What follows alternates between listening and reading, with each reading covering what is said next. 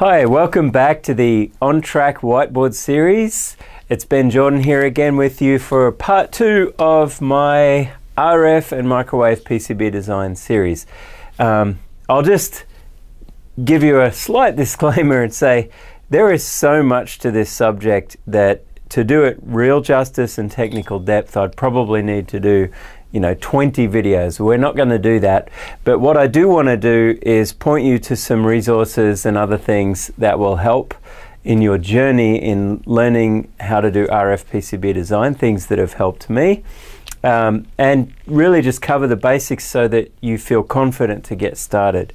So in the last episode what we talked about was really just an introduction to some of the concepts and I promise that this time around we'll be talking about things like transmission lines and impedance. So I'm going to talk about that, but I do also want to scratch the surface a bit deeper into what I introduced last time in the ter in terms of materials because the materials play a very fundamental role in the performance of any printed circuit board uh, especially microwave at microwave frequencies. So we'll talk a little bit about that too today. So to get started, let's just do a quick recap of what are the main transmission line types that you're going to encounter uh, doing, particularly doing microwave board layout. And so I've got some cross-sectional views here, which I've drawn. Here's some dielectric material with copper traces sandwiched in between reference planes. This is what's called a strip line. Strip line. Most of you know this already, some of you maybe don't, and hopefully I'm filling in some gaps for you if that's the case. Underneath that, we have the situation where you have a plane layer, a reference plane, and some PCB dielectric material, usually uh, epoxy resin reinforced with fiber, and signal trace over that on a, a, a surface layer and air so up here we have air. Here we have dielectric. Here we have copper plane and copper signal trace. This is a microstrip, short for microstrip line. But generally everyone refers to it as a microstrip, right? And then here we have uh, a more typical PCB is a microstrip that's embedded, micro strip, let's say it's embedded. What that means is there's no, um, there's no copper reference plane above the trace, the transmission line trace, only beneath it, but there may be additional dielectric material over it. And this is typically what you have as a microstrip on a printed circuit board where you have a solder mask layer printed over the top and oftentimes for ultra high speed digital boards and for microwave frequency boards, we typically open up the solder mask and have bare or gold or silver plated copper in air. The gold plating preserves it, prevents it from corroding, which would increase the lossiness of the material. And silver does the same thing. It's not used for conductivity. The conductivity is actually taken care of by the copper because, as I mentioned in the last video, we have this thing called the skin effect. And if I, let me find my eraser here. Let me get rid of some of this crosshatch in here so we can draw some fields and waves. What actually happens, so imagine this, this is a cross-sectional view looking into or out of the trace. And when we have an electromagnetic coupling of the transmission line, the strip line, the electric field lines go like this. They all couple into the reference plane, right? So the signal energy is densest in this region between the trace and the plane. Most of the energy travels in that space there. It's all about the space, as Dan Beeker would say. And because this is the area where the coupling is, most of the RF and high, high frequency currents are traveling in the skin effect in this region right here. And, and the return path currents likewise are mostly traveling in this region of the plane. And because of that, it's actually the bottom surface, a very tiny area of the bottom surface of the conductor that's actually got the electrons moving back and forth at high, high frequency AC. And so when a printed circuit board is actually manufactured, this area of the copper is typically what's made rough for attachment, as we discussed. And that means you, this is where we have increased losses. Okay, so that's, that's a microstrip, and we're looking into their strip lines are very similar, but they have a, a much simpler um, way of looking at it because with a microstrip, some of some of the electromagnetic wave is in air, and some and most of it's in the dielectric. With a strip line, we have coupling, particularly if we have the same distance between those planes we have coupling to both planes. And so we have a much more uniform electromagnetic wave front traveling uh, transverse to, to this diagram. So this is what we call TEM, transverse electromagnetic wave propagation, TEM wave. And that's what we have in a strip line in a microstrip, it's the signal of interest is still mainly transverse to the to the direction of propagation of the wave. And and so we still often refer to it as this, but it's really quasi quasi tem.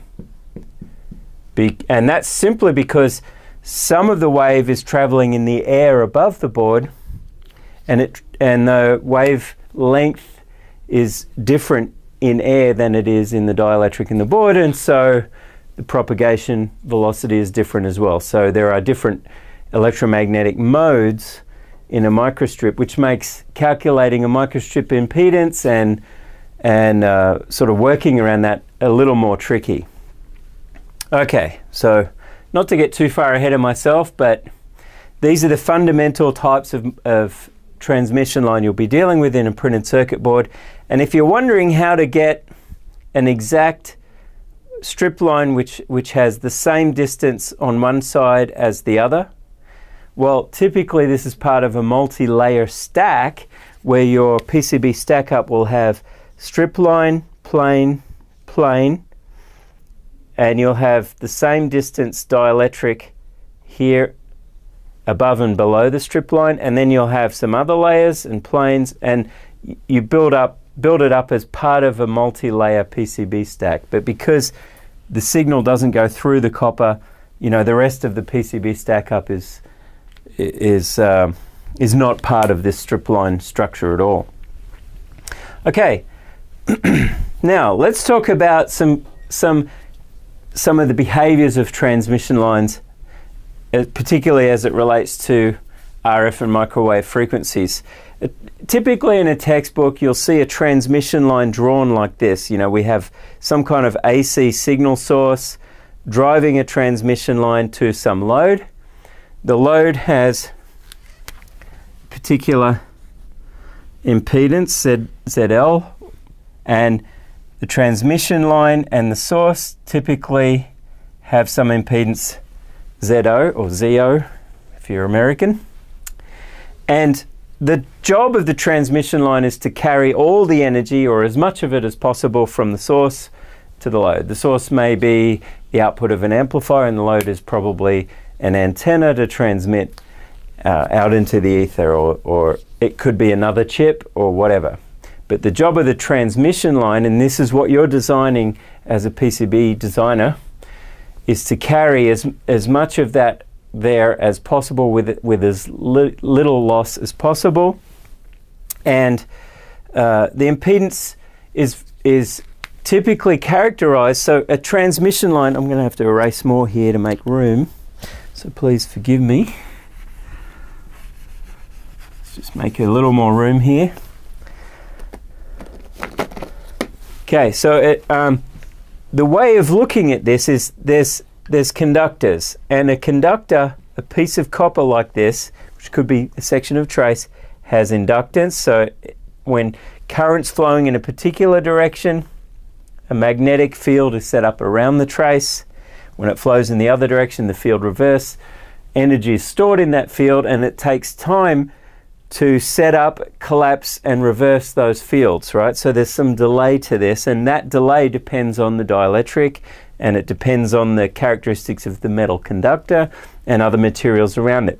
Also, the transmission line, you know, we know current has to flow in loops, and in a PCB, and particularly at high frequencies, we have a reference plane, which is presumably at zero volts and then we apply an AC signal to our transmission line and it has to, as it travels down the line, it has to charge up the capacitance between the PCB trace and the ground plane and then it gets to the load and that energy is transferred to the load like a bucket brigade delay line. So, so we can characterize a trans or look at a transmission line as a series of infinitesimally small inductors, resistors, and capacitance to the reference plane. And there's going to be some resistance there as well because that represents losses and other things in these materials, which we, we've discussed a little bit already. And there's some series resistance which represents losses in the conductor. And so we have this concept of inductance. That, that's a wonky L. Let me do that clearer. Resist series resistance, capacitance, and conductance G. So we have this R, L, C, G, and those infinitesimally small sections of circuit join up in series to form a whole transmission line. And that's what gives rise to the characteristic impedance, which is ZO, which is square root of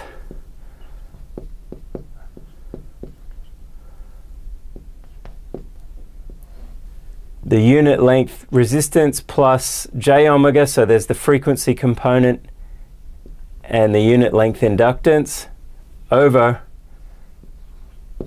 conductance per unit length j omega capacitance. Right, so that, that's kind of esoteric. How do you actually calculate this? Well, some very clever guys over time, like back in the 50s, a, chap named Cohn did a lot of research for particularly for PCB structures and using a lot of measurements and empirical data came up with some really good closed fit curve fit formulas for calculating the impedance of microstrips and strip lines in PCBs very accurately within to within a few percent for these types of structures and others have improved so Jensen uh, what are some of the other names? They're, they're all here in this really useful guide, IPC 2252. So basically,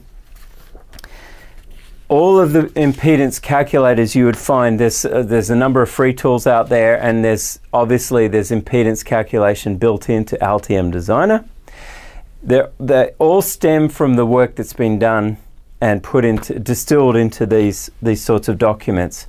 And so rather than fill the board full of tons of mathematical equations, I would say check your um, check your CAD tool. The the PCB layer stack manager in Altium Designer, for example, has an extremely accurate solver for calculating the unit length impedance uh, for for any structures and materials you add in.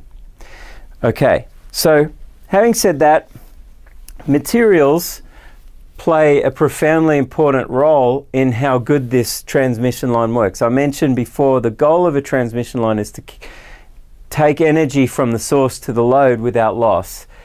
There's always going to be some loss. We already talked about the skin effect and there's surface roughness for the copper. That increases loss and also the dielectric characteristics increase loss. So what are some of the what are some of the losses that we're going to encounter? The total loss, usually represented by the alpha, is some combination of conductor losses plus dielectric losses for a strip line. And if you have microstrips where you have some air, you know, you're in quasi-TEM mode, you also have um, you also have some uh, uh, effective loss added for the fact that there's some radiation. So some of your signals actually going to go off and propagate into space, just a tiny bit. If you design this right and you have close coupling of the plane and the and the trace, most of the energy is contained in here, and you don't you don't have to pay too much attention to this if you're not going a long distance right? But there's there are radiative losses as well. So how are these sorts of things derived? Let's just look first at dielectric loss because this is the one that's harder to sort of figure out. I mentioned displacement current in the last episode as well, and that there's a certain finite amount of time it takes to orient the fields in the dielectric material when you apply a voltage to a trace. And some of that energy is lost as heat in the dielectric. So for a strip line, dielectric loss is given in in uh, dB per inch typically, and that's going to be 20, according to IPC 2252 and the research that's been done, I don't need to reinvent the wheel here. It's going to be 27.3 times square root of epsilon r times tan del over wavelength. So we can see there's a wavelength, or you know that get that's uh, one over frequency. So there's a frequency component to loss, and it's inversely proportional to wavelength. The higher the frequency, the more lossy a material is going to be. And this parameter here, tan del, is, is referred to, people call it the loss tangent. And it's actually something that's measured by the manufacturer of your material and given in the material data sheet. So I have, for example, a standard um, This one's from the Gund company, but this is a standard FR4 data sheet. FR4 is the most common material used today in PCBs, and it, the grade FR4 is actually an NEMA standard, and they all pretty much comply to this exact same characteristics. So for F, FR, typical FR4, the permittivity, E, e sub r, epsilon sub r, um, is measured almost always at only one megahertz. So it may be very different. It can be frequency dependent, and in fact, it typically is. And look carefully at the data sheet. It may only be given at one megahertz, like it is on this one. And in, in this case, the typical values are 4.4. So we have 4.4. Another common value seen is 4.2. And and the dissipation factor on the data sheet, it may be called dissipation factor or D, capital D sub F. That's synonymous with loss tangent. Dissipation factor is loss tangent, tan del. And that's a unitless number. And for typical FR4, the requirement is 0.014. It's a small number because it is actually a tan of an angle uh, between the real and imaginary parts of the epsilon. Not to get caught in the weeds with the math, but that's where it comes from. And so let's take a look at a, a scenario. Let's look at an example here. We'll come back to impedance in just a bit. Let's say I have FR4 with those characteristics. What's my loss going to be? Um, let's say, so I run this through an actual calculator, uh, one of the free calculators available that uses the formulas from the IPC 2252 uh, standard, so they're pretty well tested over time and reliable. Um, okay, so we have a microstrip, let's call it mu s to save space.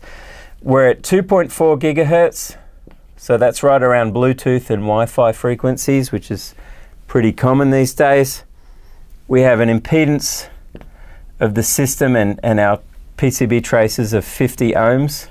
So we're using a calculator, um, using our calculator to determine what the trace width should be for a given dielectric thickness. And, and that uh, we have epsilon r of 4.1 and our thickness of the dielectric thickness of the dielectric is 4 mils that's pretty typical for a microstrip. You know, the top layer of the board and the next layer down being the reference ground. And we have uh, 4 mils thickness there. We have a conductor thickness, so that's H. H is 4 mils. The conductor thickness T, which is this thickness here, is 1.4 mils, which is standard 1 ounce copper which is normal for a surface layer, surface microstrip. Copper, by the way, has a perme permeability, relative permeability of one, like most metals that are not magnetic, right? So that means we can ignore the magnetic effects. There's no magnetic effect in copper, but just pay attention to that. Don't use ENIG if you're doing microwave because nickel nickel on that, just even a, a tiny thin plating thickness of nickel on that will increase your mu r of the conductor trace and it will throw your losses and your transmission line um, ZO calculations way off because nickel is quite a magnetic metal. So don't use nickel uh, unless you're taking it into account and you can measure things and make sure you're correct. Okay, so what else do we have here? We're going to have a surface roughness of the copper, a pretty typical surface roughness, which is represented by phi of half a mil, say. Half a mil. That means the roughness of that surface in, in root mean square, that the average roughness of that surface where the currents are flowing is half of one mil uh, deviation. Okay, so what do we get?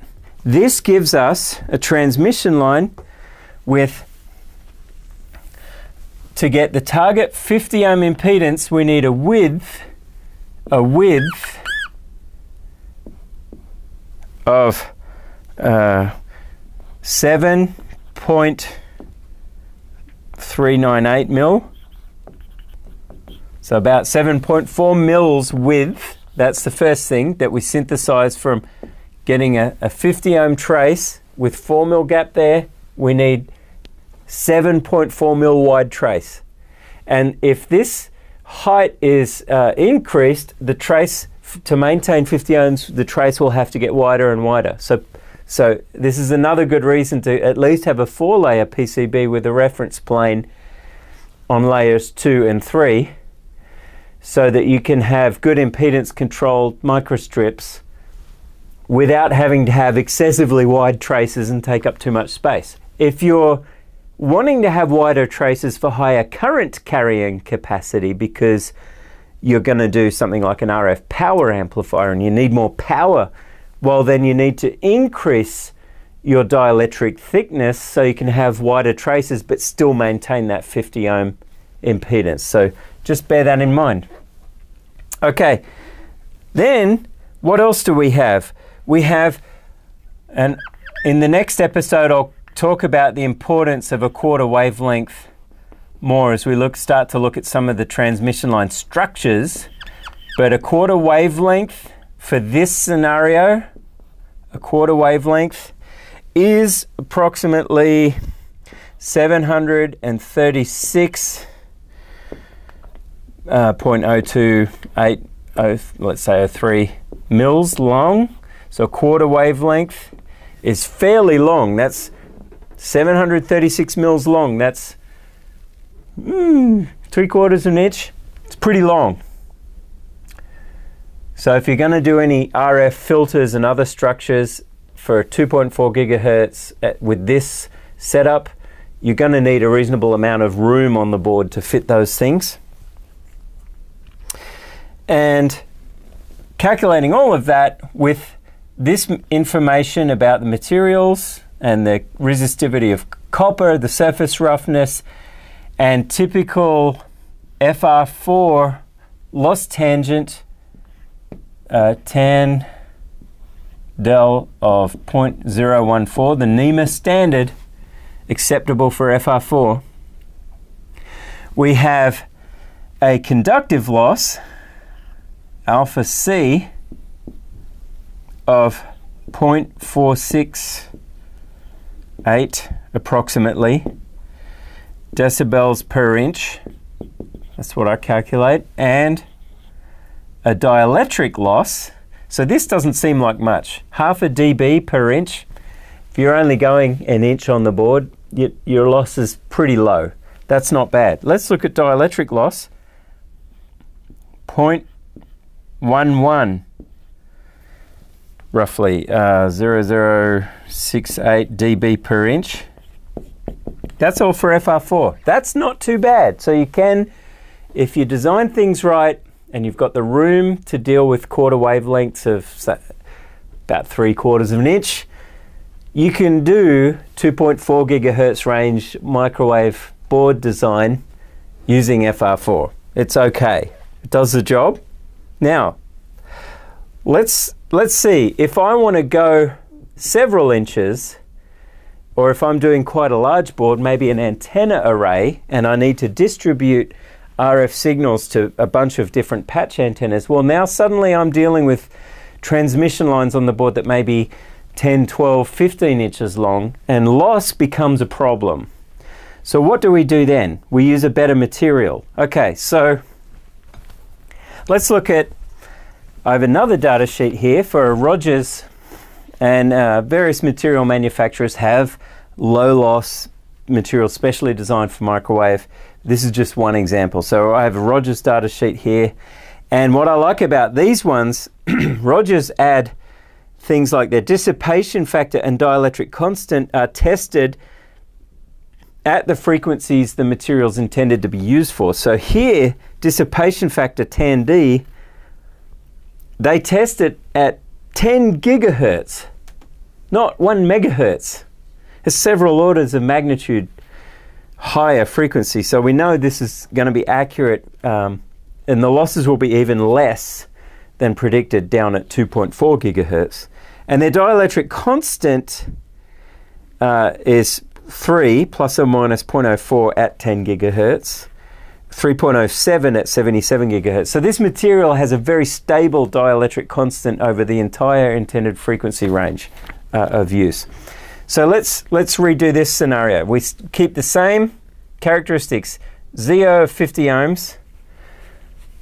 All we're doing is changing the material. So epsilon R is 3. Um, maybe I should do a different color here, just so we see the contrast. 3.07. All the dimensions stay the same. The copper surface roughness stays the same. tan D is the other thing that changes. So instead of 0.014, it is now 0.0011. So more than a magnitude, more than an order of magnitude smaller loss is going to be experienced in this material. And, and so we've gone from 0.468 dB per inch and 0.11 dB per inch for conductive and dielectric losses. Now let's have a look. Let's have a look what happens. We re rerun the numbers. Now the width of the trace for this same material, thickness but different dielectric constant is now 9.1 mils. So the width actually increased. We need a wider trace because of the lower E. So the lower E goes, the wider your trace is. So to get a 50 ohm trace with E of 1, which is air or vacuum, you need a much wider trace. This is also typically why you know antennas have a high air based antennas have a higher impedance than 50 ohms, and we need to have baluns and things to match them. Um, what else? A quarter wavelength at this frequency is 817.4 ish mils.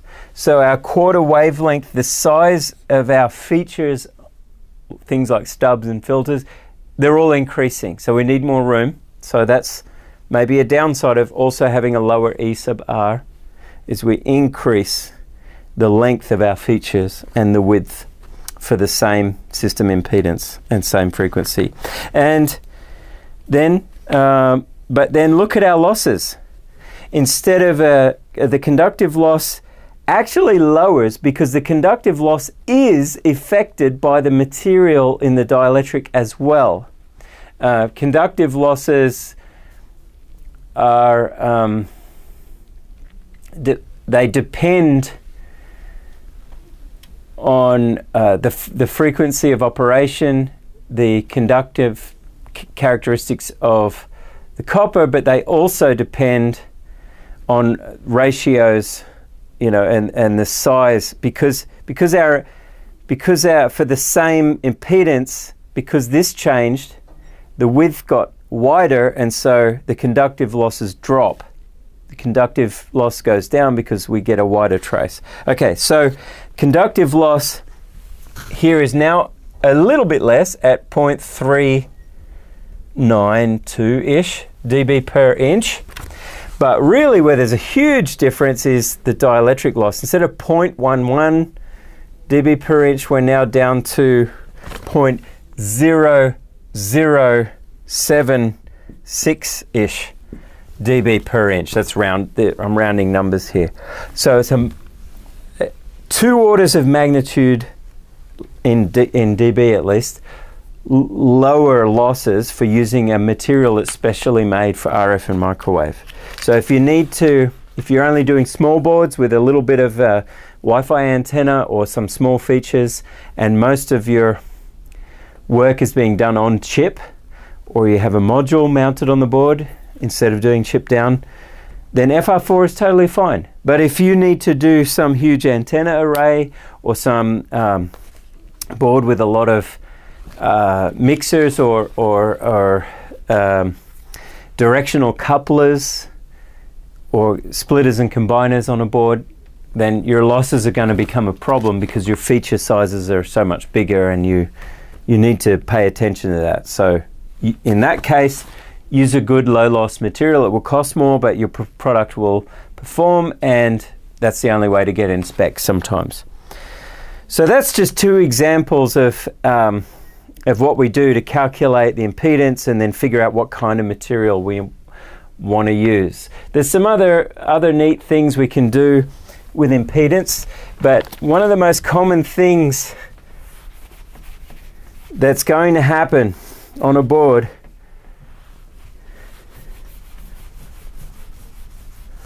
is that we have different impedances.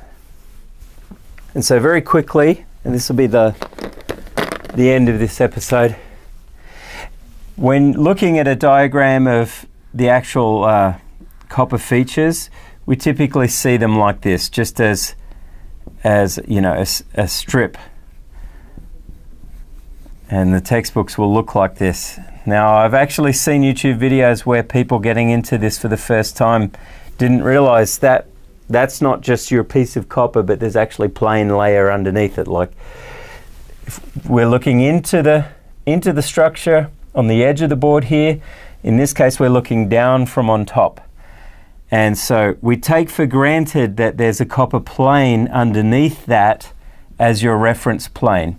The only time your copper plane is removed is when you want an antenna and you're intentionally causing things to causing these fields to radiate out. And uh, that's another episode uh, towards the end of this series. So, so we're looking down on top, and we may have a, a chunk of copper like this that maybe it's a, a certain length, L, and we somewhere up here we have a, a pin of an IC which is transmitting inf, trans.